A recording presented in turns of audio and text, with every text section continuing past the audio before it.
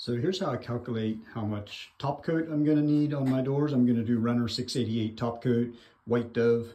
I'll just go along and count my doors and I figure two ounces per door. And if there's big doors with double panels, I'll count those as two separate doors.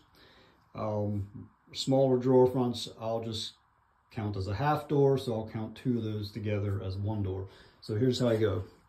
2, 4, 6, 8, 10, 12, 14, 16, 18, 20, 22, 24, 26, 28, 30, 32, 34, 36, 38, 40, 42, 44, 46, 48, 50, 52, 54, 56, 58, 60, 62, 64, 66, 68, 70, I'll count this together as 1, 72, 74, 76, 78, 80.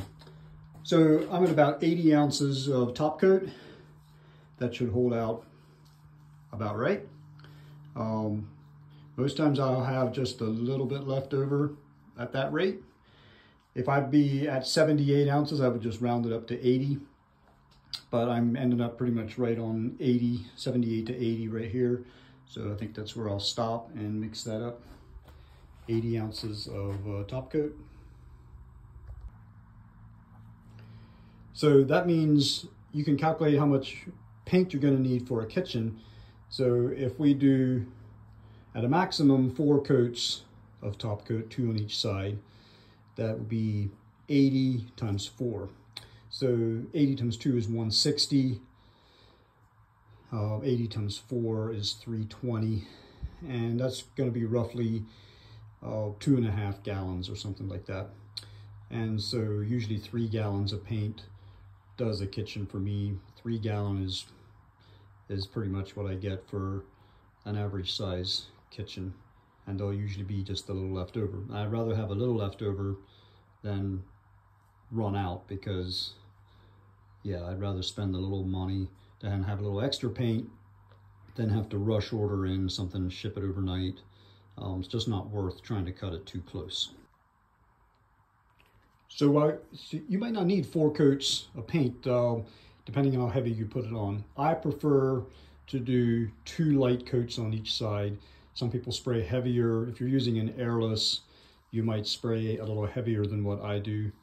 But it all depends on what tip size you're using and all of that. So I'm using a small tip. I'm using an air-assisted airless. I'm doing a light coat, probably close to three wet mils. I used to spray heavier, but um, and then I still sometimes had to spray twice. And so I found that doing two light coats at about three wet mils each, I get better results than trying to spray a heavy five to six wet mil. Um, though it depends a little bit on, I mean, temperatures, humidity really do play a big factor here. And not just the air temperature, I mean, even the temperature of your wood so you can heat up a room pretty fast, but if your wood is still cool, uh, you know, 50, 60 degrees, even in the 60s, you may have some issues. So these are some things that people don't always think about when they're spraying and they have like bubbles and they have issues with spraying is realizing that that temperature and humidity and not only air temperature, but the wood temperature is important and the temperature of your fluid you're spraying. If you have this in a garage on the floor, I don't care if your air temperature is 70 degrees, if it's down on the floor, your fluid temperature is probably down, you know, in the 60s. And so uh, the easiest way to heat that up, get it up to temperature is maybe keep it up on a shelf in a warm place or put it in a bucket of warm water for a while, let it warm up. You don't want it overly warm because that's going to kick it off too fast if you're adding a catalyst. But keep your fluid in the like 70 to 80 degree temperature and it's going to atomize a lot better. It's going to flow better. Um, a lot of, yeah, just good, good things happen when you've got a little warmer fluid. But I've made it too warm already and then the catalyst kicks off pretty quickly and you definitely don't want to do that. I would also add about the primer. Uh, primer, you're going to tend to use a little more than two ounces per door per coat. Um, you'll probably use closer to three, and I, at least that's what I kind of aim for. Primer tends to be um, a little more high solids than the top coat. And to get the coverage that you want, uh, I usually calculate around three ounces for primer and two for top coat. And that's per side, per coat. So um, if you do the math, that's, um, I like to do two coats of primer and two top coats. Um, I've already gotten by with just one top coat, but like I said, I've kind of come to the point where I like to do two light, two light uh, coats of all of them. I don't even spray my primer super heavy.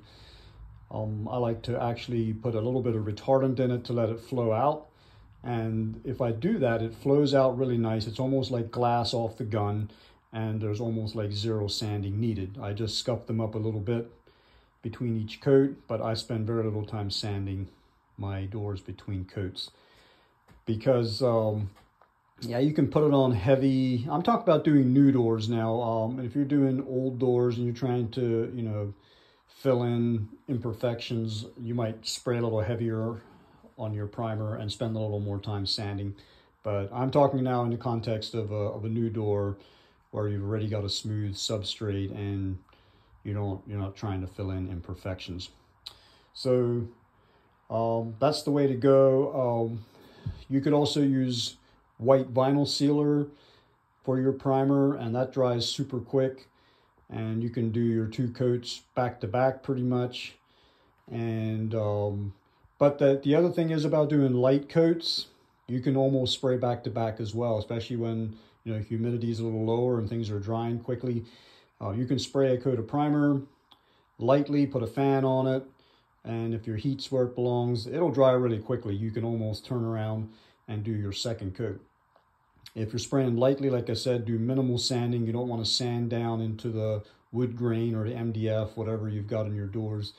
Um, let that first coat kind of seal in there and lock in there. A little bit of time probably does help that because your catalyst is going to cure uh, the paint if you have a little more time. But just saying that as far as dry time and recoat times, but when you spray lighter coats, you can do more coats quicker and faster.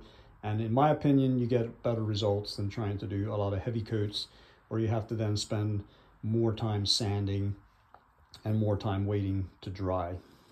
My opinions, uh, if you have any comments on that, love to hear your experience. I'll put that down in the comments below. If you have questions, feel free to ask too.